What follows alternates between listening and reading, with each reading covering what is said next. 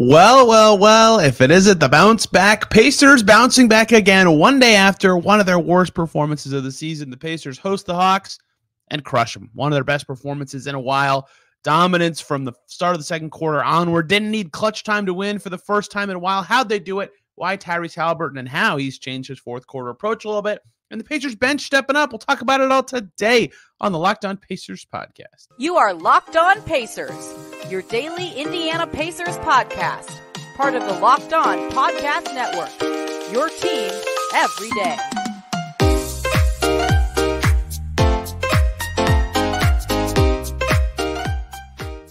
Welcome in to another edition of the Locked On Pacers podcast, where we, of course, talk about the Indiana Pacers as always. My name's Tony East. I cover the team for Forbes and SI. And today, big one to get to. Pacers do it again. They do the bounce back thing that they've been doing all season. They keep putting themselves in a situation where they need to bounce back, but they keep doing it terrible night Monday in New Orleans. They get smoked against a very banged up Pelicans team. Come out against the Hawks. They just crush them. From late first quarter on, the Pacers look great. We'll break down the game, how the Pacers got it done, what they did so well. That's a pretty good Atlanta team. Over 500 coming into this game, have one of the better point guards in the league.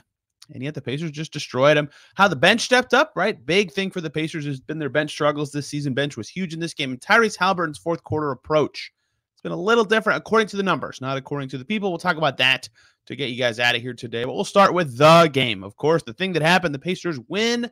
And this one was so, so interesting because for a lot of Pacers wins, basically every Pacers win this whole month, they've had clutch time. They've been within five points of their opponent within the last five minutes. Sometimes they've held on, a lot of times they've lost those games, but basically every win they've had this entire month has had that. This finally was a game where the Pacers did not need close closeness to get it done, right? They, they were close ish in the fourth. It was a six point game at one point, but that does not tell the story of how this game went because the Pacers, you know, choppy back and forth in the beginning, right? Hawks go up six, then it comes back into a one point game. Hawks go up five, back to a one point game. Pacers take the lead late in the first quarter for the first time in this game. I think their first lead was 26 25. That's exactly what it was after a Bennedict Mathurin lamp. They never trailed again. That was with a minute 30 to go in the first quarter. So the Pacers led for the final 37 and a half minutes of this game against the Hawks. They dominated for a super, super long time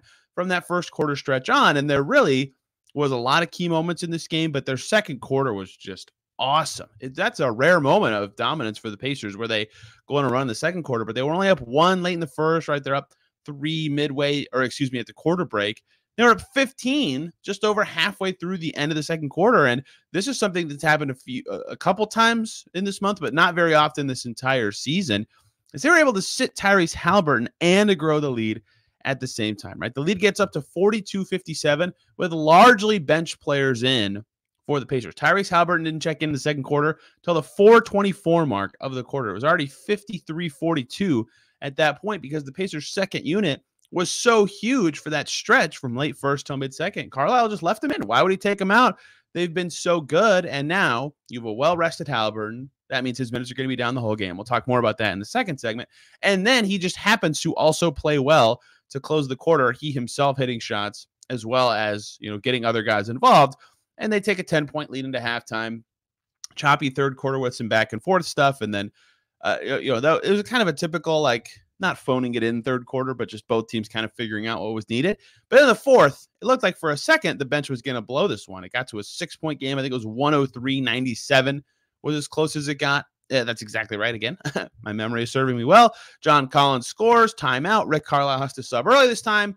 He brings in Tyrese Haliburton and the lead was back to 10, not even a minute later. 42 seconds after bringing Haliburton in in the fourth, the Pacers were up 10. He hit another three soon after to get him up 12 at the 7 12 mark. It was never close again. The Pacers dominated, dominated from that sub on, right? 103 97 at the 851 mark of this game at the 514 mark, right? So we're talking about three and a half minutes later. It was 124 103. So the Pacers went on a 21 to 6 run in about three minutes. They crushed the Hawks in the fourth quarter. The, the lineup that was in there for most of it Nesmith, Brissett, Smith, uh, Hield, and Haliburton was fantastic. Turner was really good down the stretch in this game as well. And then when Nesmith fouled out, Nembhard came in. He did a good job. They got great contributions from everybody in this game who played. Basically, did their job. But as soon as that sub was made, they went off. So really good Rick Carlisle game, right? He had the right lineups in there all the time, right? He he kept the starters in for the perfect amount of time in the first quarter. He kept the bench in for the perfect amount of time. He got through to the end and had the right unit in to close the game out. It was really good stuff from basically every Pacers player who played. And to, to, to it looked like for a second, like it never felt like in the third quarter, the Pacers and Hawks tied the third quarter at 32, right? So a, a, totally even quarter. It never felt like the Pacers had control. It felt like the Hawks were in more control for some reason.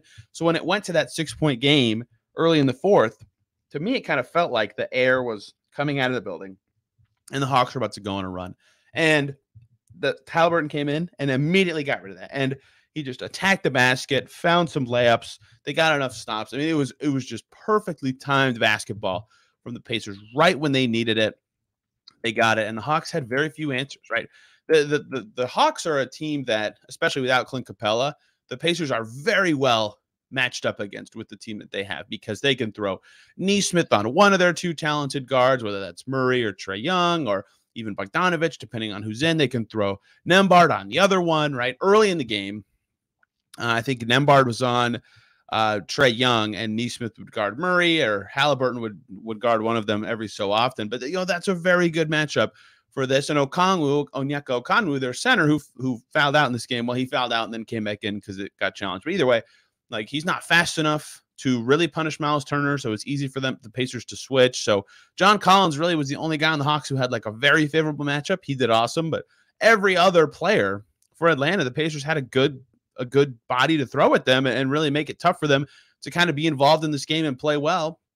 And that and that was huge for the Pacers. They had good defensive matchups in there at all times. The Hawks could never go on a long sustained run. It felt like every time they had a chance to cut into the Pacers lead, I think their longest run had to be only like five. Yeah, the longest run in the whole game was only eight points for either team. Right? It never felt like the Hawks had could get enough momentum, and if they don't have good enough matchups to do so, they're just not going to win. So really good stuff by the Pacers from a matchup perspective, from a rotation perspective, and of course, basically everybody who played did something well, right? The guys who missed shots in this game, Aaron Nesmith was 0 for 6 and Chris Duarte was 1 for 6, defended very well. And everybody else shot the ball well or passed the ball well or did their job that's expected of them in this game. Really a, team performance, uh, but led by two guys. Uh, and you'll hear these names all the time. you have heard these names all the time this season. Tyrese Haliburton, of course, 23 points, ho hum, seven assists, three boards. Uh, three for eight from deep, magnificent in the fourth quarter. Over half of his points coming in the fourth, which is the subject of our third segment today. He was brilliant in that moment of the game and was good, of course, for much of the rest of the game.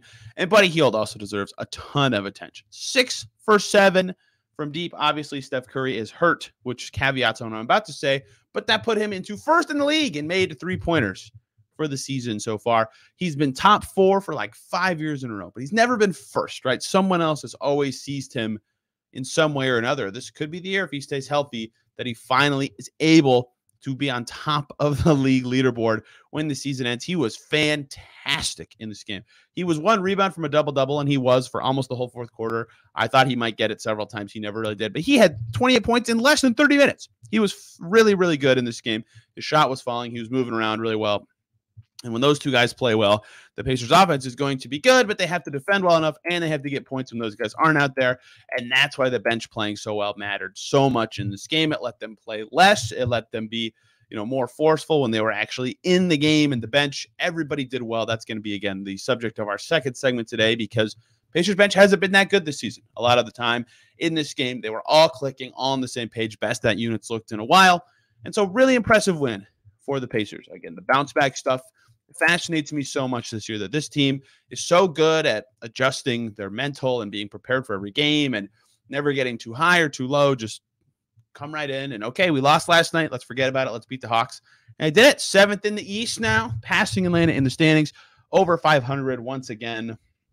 Top six in the East, sort of solidifying, but the Pacers could move up if they keep playing like this and um, hovering around that playing spot. Looks like something they're going to do. I mean, they continue to do win games like this against teams in the mix, then they're certainly going to end up in that range if they can continue to do so. Let's talk about that bench unit because it's been a big problem for the Pacers that that unit has not been as good as it was early in the season, and a lot of the guys within that unit aren't playing as well as they were last season or earlier in the season or something different for all those guys. But it's it was noteworthy in this game that it finally clicked. And I don't know if it's sustainable because the Hawks had some crummy defense at times, but I want to talk about what worked, why everybody did so well, and the importance of sustaining it. Before we do that, though, let me talk to you guys about prize picks. Prize picks super simple. You're going to take Luka Doncic to score more or less than 26 and a half points? LOL, way over. LeBron to have more or less than seven and a half rebounds. KD to have more or less than six and a half assists. That's the gist of prize picks. It's daily fantasy made easy. You pick two to six players. Are you going to score more or less than their prize picks projection? You can up to 25 times your money on any entry. It's not against other people. It's just you versus the projections available on prize picks. They have projections at any sport you watch NBA, NFL, MLB, NHL, college, PGA, anything. They've got it. You can make your entries in a minute or less. It's safe. They have fast withdrawals and operational in over 30 states and Canada. Download the prize picks app or go to prizepicks.com. Sign up. Play daily fantasy sports. First time users can receive a 100% instant deposit match up to $100 with the promo code locked on. You deposit 100 They'll give you 100. You deposit 50. Prize Picks gives you 50. You get the idea. Don't forget, enter that promo code lockdown at sign up for an instant deposit match up to $100. Prize Picks daily fantasy made easy.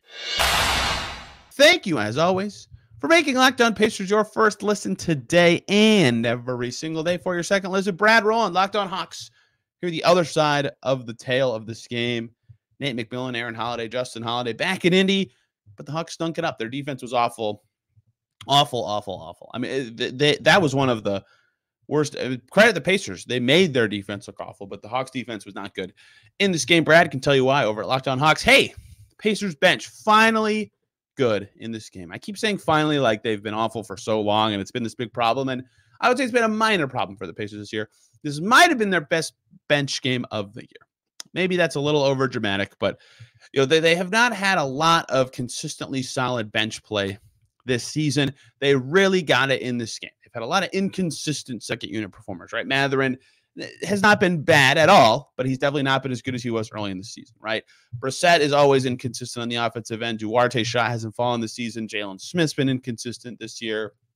TJ McConnell has lost his trick of scoring. We'll talk about that a little later right? That's still a good unit. Those guys can mix and match well, especially with the starters. But as a whole second unit, it has not worked particularly well. This game, it all came together. None of that was a problem, right? And the signs were there right away. It was hilarious. First quarter, guess what the Pacers shooting percentage was from their second unit? How about 100%? Those guys went five for five. They were all huge pluses. Oshae Brissett was a plus seven. Uh, he led the team in plus minus all night. He was very good, right? They did not miss a single shot any bench player, Bennedict Mathurin, Jalen Smith, Duarte, Oshae Brissett, they all took a shot in the first quarter. None of them missed, right? They were all really good. And then in the second quarter, despite some mixing and matching, right, Ben Mathurin plus 10, Oshae Brissett plus 12. And just that quarter, right? Those guys were really good in that quarter as well. In the second frame, they were nine uh, for, I can't do math quickly, 13. They were nine for 13 from the nine for 14. There we go. From the field. Like they were special on offense in this game. They were moving the ball around well. They were getting into the lane and finding each other and in tight angles. They were hitting outside shots. They looked really connected, and the defense was good too. And that is what this team needed: is to see that unit connected and together. Because not only, of course, is it good to make shots, duh, but also then you only need 30 minutes from Tyrese Haliburton and 29 from Buddy Hield to win convincingly against a good team in the East, right? The Pacers need to be able to not play those guys so many minutes throughout the regular season. I think that's very important. Yes, they're in, in Haliburton's case, he's young, he's got young legs, but playing him less is preferable if you can. And they were able to do that tonight because the bench was so good. And everybody basically did what they do well in this game, right? They were losing, these guys sub in, and they changed the game with that excellent first half. Oshae Brissett, for example, excellent on defense as when he's at his best, he usually is. Um, and the drives were really huge for him in this game, right? He was he had a couple buckets in the first half. I think three of his four first half makes were, you know, put it on the floor, drive past somebody, finish at the rim. Finishing not his strong, so he was doing it in this game. He hit two threes. He finished with 16 points and five rebounds, right? Fantastic game from him on the offensive end. He was doing everything. TJ McConnell finally knocked down that mid range shot that's been plaguing him all season. TJ McConnell hits three shots in this game. He also had five rebounds and six assists, right? That shot has escaped him. That made him really, really good at his, at his best year with the Pacers, right? I to me, uh, that's his second year. the Bjorkgren year uh, in 2020 21. He was 55% from three to 10 feet, 65% right at the rim, and 55% from 10 to 16 feet, right? He'd get in the lane, he'd go for that little fadeaway over the defender and drill it, or he'd get right into the teeth of the D and score. Uh, and, and that made him a threat on drives, not only because he's a good passer, but because he could shoot that shot. Last year, those numbers dropped, but he at least was still hitting the mid ranger. His rim wasn't as good. This year, he's lost both, right? 56.5% from zero to three feet. That's the second worst of his career, behind only last year. 44.8% from three to 10 feet. That is the worst of his career, except for his second year in the league when he was 24 with Philly. 34.8% from 10 to 16 feet. Easily the worst of his career, right? McConnell's mid range, that was his big weapon to make it so teams would not just defend the passes, has not been there. Tonight it was. And that is very important uh, when talking about his game. Duarte was the only guy who wasn't shooting well off the bench, but he did defend well in this game. Still, uh, not a lot of room or space or success for uh, you know Justin Holiday, for example, one for five. Aaron Holiday over two. AJ Griffin four for ten. You know, a lot of the guys that he ended up on, he slowed down. Uh, Jalen Smith finished plays as he does again when he's his best, and they're able to find him in the right spots. I'm kind of just reading the box score, describing how these guys played. But Jalen Smith in 20 minutes, seven boards, nine points. They were all great. They all did their job extremely well. And Bennedict Mathurin tied it all together by cooking, cooking in this game. Six free throw attempts, missed all his threes, doesn't matter. Still had 18 points on 10 shots. Excellent, excellent scoring game from him, including some to really spark some runs early in the second quarter. Pacers very rarely have this, right? They very rarely have a game where their bench looks super connected. They're all together. They're all playing to the peak of their abilities and showing how that unit can be a unit, right? Not just okay, here are our bench players, and we'll mix Mathurin in with the starter sometimes, and Smith with the starter sometimes, and Brissett with the starter sometimes. And those guys are great with those lineups, but when they're all together, eh, it doesn't work so well. When it does work like this, it's better for a lot of reasons. One, right? What's been happening is their starters do well enough, and then the bench loses it, and then it's a close game at the end, and they're reliant on their starters to either hold a lead or come back a tiny bit. In this game, they're not holding on to a tiny lead. They're not trying to come back, right? They were they were up six. I guess that's not a huge lead when Haliburton came in. He was the only starter who subbed at that moment early in the fourth. Like they were up big when crunch time came, and part of that was because they didn't have to deal with such bad bench play in the fourth or in the first half, right? That was huge. They don't have to do that kind of stuff when the bench is better. They finally didn't have a clutch time win for the first time in forever, and the bench play was a huge factor in that. All those guys were great. I was asking Oshae about it, Rick Carlisle. I think it'll be a big part of my story on this game that comes out. And you know, so the question is, can this sustain? You know, it, obviously, you have to question the sustainability of this level of success. But maybe they found something that works here. Like if McConnell can just get that mid range shot back the way he would be defended, not even mid range, it's in close, it's less than 10 feet every time. The way he's defended would change so much that it would open up everything. And really, the other factor of it is just making shots for guys like Mathurin and Duarte who take mostly good looks, and they just have to put them in the basket. Brissett, expecting him to be a consistent drive and finish threat, I don't think is is doable. He was uh, the, the Hawks, you know, did not have had pretty flimsy point of attack defense. He took advantage, but it would be huge for the Pacers if they could even get 80% of this bench performance every game because those guys were all very, very good in a way that, right, less than 30 minutes for Hield less than 27 minutes for Nembhard, barely, barely, barely over 30 minutes for Tyrese Haliburton, right? 25 minutes for Miles Turner. They could they didn't have to play their starters that much at a 20 point win because their bench was so good. Like that is something the Pacers need to find a way to hang their hat on. And a funny thing to look at is, you know, PBP stats my favorite way to get stats because it takes it from play-by-play data, tracks a team's net rating with X number of starters on the floor, right? And the Pacers play the 15th most minutes with four starters on the floor, so about average. The 14th most with three starters, right? So they play their starters a lot. Uh, with two starters, 28th in frequency. Very rarely they only have two starters out there, right? They're sixth in frequency with one starter out there. And there's, you know, they don't have a lot of situations where they have two or one starters. They like to mix it up because their full bench unit has been so bad. So the fact that they got a lot from it this game was much better, right? Uh, they do really well with four starters, three starters, and two starters, not as much with their full starting five, right? The mixing and matching has been good, but getting a lot from that low starters unit really helps the Pacers out. And that's something they'll hope that they can continue going forward. And all that was just the precursor for the Tyrese Haliburton put the Hawks away show in the fourth quarter. How did Tyrese do it and how has he changed his fourth quarter approach recently in a way that has really helped the Pacers as they've won three of four? Let's talk about that to close today's show. Before we do that, though, let me talk to you guys about betonline.net, your number one source for sports betting info, stats, news, and analysis. You can get the latest odds and trends for every professional and amateur league out there from pro football, college football bowl season, basketball, college. They've got it all at betonline.net. If you love sports podcasts, guess what? They've got those at betonline as well. It's the fastest and easiest way to get all your betting info. It's as simple as that, right? The last NFL game of 2022, Titans, Cowboys, Cowboys favored by 10, for example, right over on there. They've got the BCS. Uh, that's not even what it's called anymore, is it? Uh, the college football lines up for the playoff games, ready to go. All the bowl games coming up are on there as well. Duke Central Florida tomorrow. Duke favored by three and a half. All that and more at betonline.net. Head over to the website or use your mobile device to learn more because betonline is where the game starts. Thank you, as always, for making Locked On Pacers your first listen today and every single day. For your second listen, let's go unconventional here. Locked On Mavs. Why? The Mavs didn't play the Pacers. That's not a general NBA show that I usually like to have you guys listen to. Locked On Mavs because Luka Doncic just had 60 points, 20 rebounds, 21 rebounds, and 10 assists in one game. Holy smokes, insane. You divide those by 10, 6, 2, and 1. It's a good role player game. He times 10 a decent game for role players. Insane performance. Nick and Isaac on Locked On Mavs. We'll break that all down for you. And I talked about it on Locked On NBA if you want to make that your second listen as well. Uh, lots of fun shows here on the network to get your Luka Doncic fix. But we're talking about Tyrese Haliburton right here because he nailed it, put the nail in the coffin tonight. He he put the Hawks away. He ended this one, right?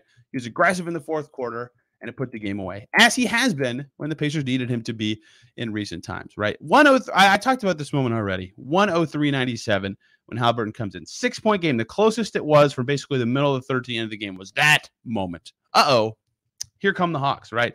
That's scary if you're the Pacers. You've had some fourth quarter woes recently. There's almost nine minutes to go. They bring in Haliburton 20 seconds later, driving layup. Easy. They get a stop, right? Six seconds after that stop, running layup, right? Great job by the Pacers. They really needed that stretch, couple free throws on both ends. It's 108.99. They're already way ahead because of Haliburton. And then boom, he hits a three with with 7 12 to go. Seven points in less than two minutes on three shots. Huge, huge, huge stretch. It's impossible to overstate that because it felt like the Hawks. That was the only time in the whole second half it felt like the Hawks had momentum and Tyrese Haliburton took it away. All right. He was massive in the fourth quarter of this game, and that it put the nail in the coffin. And he's been so clutch for the Pacers time and time again against the Celtics last week, against Miami. Obviously, that's his you know his moment now in the league. And now this this game was less so clutch because there's a lot of time left, but being really good in the fourth quarter like says a lot about him. And it's so fascinating looking at this game. He took 16 shots, right? And the look, Tyrese Halliburton doesn't shoot that much. Like he's only taken more than 16 shots in a game six times this season. He's taken exactly 16, kind of a lot. But he hasn't taken more than 16. Like 16 is a lot for him. And he took almost half of them. He took seven in the fourth quarter, right? In that moment, he came in and he said, I got to be aggressive. I've got to find my shot. I've got to score for us to win. And he did it. And he hits the shots. Like his percentages are are fantastic this season, right? 48% from the field, over 40% from deep. He's earned the right to take those shots and he nailed them. And that was huge for the Pacers. Almost half his shots coming in the fourth quarter. And I was asking everybody about it. I kind of feel bad sometimes when I do this. Like people watch the media availabilities on YouTube sometimes, and it's just I asked everybody who, who the Pacers will upload the video for the same question, among many questions. But it was, you know, hey, have you seen how have you seen Tyrese Haliburton's fourth quarter approach change? Right, because this is now three wins in a row for the Pacers where he's come in in the fourth, he's looked for his shot, and and it's worked, and he's scored, and it's gotten the Pacers the win. And everybody's saying no, not really. And that was kind of interesting to me because the numbers suggest that he is playing a little different. But I understand that that does not necessarily mean what they're saying isn't true. Um, and what they all say is kind of similar. That Tyrese, Rick Carlisle said this all season. Haliburton said this all season. He is very good at identifying what the Pacers need in a given moment and giving it to the team. If that's aggressive scoring, he'll do it. Deferring, great. Passing, great. Like he'll do it. And that is a hugely important skill for this basketball team. It's just so happened that they've needed him to score in these clutch games recently. And when it's what the team needs is him to score, he does it, right? And and had it been more sharing, maybe he would have done that. But he needed to be aggressive in this game. 12 fourth quarter points, right? Hawks were down six, they had momentum. And then Tyrese Haliburton scores over half of his points in the game in one quarter, plus 13 in the fourth, game high by obviously a mile, right? That put it away. He was fantastic. And I think this is just kind of who he is now, right? He's become the clutch guy for the Pacers. He has become that guy uh, who's able to shoot when they need it in those wins, right? Obviously, against the Celtics, he had all star level play, finishes with 33 43 against the Heat, the game winning shot, bunch of fourth quarter points that night as well. It's just who he is. And so, look, looking, digging into the numbers, actually, yeah, let's just dig into the numbers now, right? Because this is what kind of made me want to ask about this. You know, per I did this per 36 minutes, so there's no skew. In the Pacers' first 10 games in the in fourth quarters, right? Down the stretch, Tyrese Haliburton took 17 shots per 36 minutes in fourth quarters, and then it went up a little bit in games 11 to 20, and then it went way down in games 21 through 30. So the highest it was in any of those stretches was 22. Currently, in the Pacers' last five games, it's at 23.7 shots per 36 minutes in fourth quarters. He's taking more shots down the stretch, right? Six more than it was in the first 10 games, double what it was in games 21 through 30 for the Pacers. Like he is clearly looking for his shot more in fourth quarters. I think that's very noteworthy for numerically. And I don't think that it's like an active I'm coming in, I'm shooting. I think it's he's realized more in the clutch when the game slows down a tiny bit, right? That score him shooting is what the team needs when the game slows down a little bit. That's what I my take on it is is he's reading the game. He says it's slowed down. This isn't our style, but I can still score. And that has been working very well for the Pacers, right? He's not changing his approach. He's coming in, he's identifying what the team needs, and he's doing it. He's scoring. And uh, it's so impressive to see him change his, you know, not that he, it's not a big change, I guess. You know, it, it's it's interesting to see that it lands on shooting more so than passing in those situations recently, and that it's led to a lot of success for the Pacers, right? Even looking at his assists per 36 minutes in fourth quarters. 10.8 the first 10 games, 10.7 the next 10, 9.4 the next 10, 5.0 in the ongoing 10 game stretch, right? Like that, that kind of t- says it perfectly. It's not, again, it's not a problem. It's not a bad thing that the pendulum is swinging this way. In fact, it's good. He had a lot of games where after the game, he said, I felt like I was passive down the stretch. I got to be more aggressive. He's doing it now. He's doing that. It's been huge for them in the Heat win, in the Celtics win, and in this game. They've won three of four behind his scoring. And Buddy Hield said it, right? He said, you know, he's played with Tyrese his whole career. He said he's maturing so fast. He's growing so fast. And these fourth quarters are the perfect example of that. He's becoming the guy for the Pacers down the stretch. It's no doubt who should have the ball in his hands or should be looking to score these moments. It's Tyrese Haliburton. And this one wasn't even, you know, the Celtics game and the Heat game. He hit some big shots or scored some big points with in the last two minutes, three minutes, whatever it was. Right after that Knicks game where he beat himself up after missing that jumper over Julius Randle. He's been great. In this game, it was much earlier in the clock, but still just as important to put a team away, to get momentum, to get your team and crowd into it, to get the human element on your side to get a win. And he was fantastic down the stretch. He made it happen for the Pacers. And now they're 18 and 17, back over 500. Impressive stuff from this Pacers team. Tomorrow, talk a little bit of Pacers Cavs, but I think I'm going to try to find a guest and we're going to talk the best Pacers moments of the year 2022. Not going to have a lot of chances to do that uh, this week, just given the Pacers game schedule and only having two more shows. And then Friday, we'll talk what happened in Pacers Cavs, preview the Clippers game a tiny bit, wrap up the year here at Locked On Pacers. So that should be really fun. Sorry for the lack of guests. Recently, it's a lot harder around the holidays. I feel worse bothering people. Just not my jive to just dive in on people's lives when they're hanging out with their families. But I will hope to have one tomorrow to talk best moments of the calendar year for the Indiana Pacers as we transition into 2023. So, Cavs, Clippers, all the coverage coming up this week, as well as fun moments about this basketball team who's over 500, back to seventh in the East. And we'll look to keep up some momentum against some strong opponents coming up. Thank you guys a ton for listening today. It's much appreciated. Back tomorrow, like I said, talking Cavs preview and more. Till then, everybody have a great rest of your day.